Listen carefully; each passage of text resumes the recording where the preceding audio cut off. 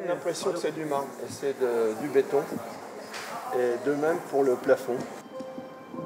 Du béton lisse comme du marbre, des bois précieux en provenance du pays natal et du mobilier en bronze, voilà pour l'écrin voulu par l'Australie pour honorer la mémoire de ses 42 000 soldats morts sur le front de l'Ouest entre 1916 et 1918.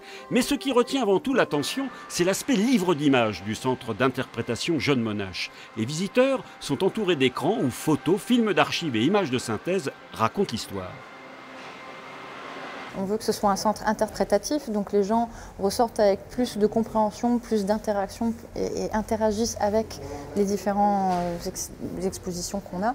Et c'est ça qui, je pense, rend justement l'expérience plus émotionnelle et plus éducatrice.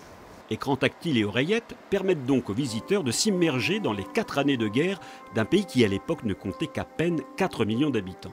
Robin Gimson vit en Tasmanie. Ce matin, elle tenait à faire partie des premiers visiteurs. C'est très émouvant.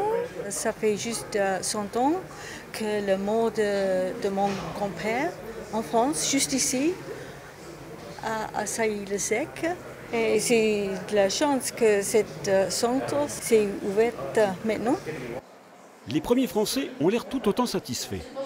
Il est formidable. L'audiovisuel, euh, on ne peut pas faire mieux.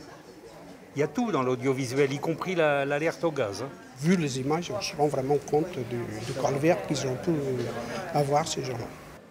L'inauguration officielle aura lieu mardi prochain, la veille de la cérémonie de l'Anzac.